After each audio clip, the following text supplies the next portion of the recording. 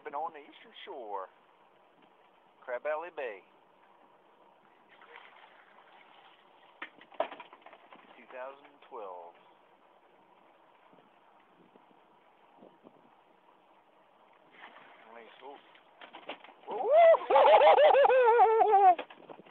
like taking candy from a baby.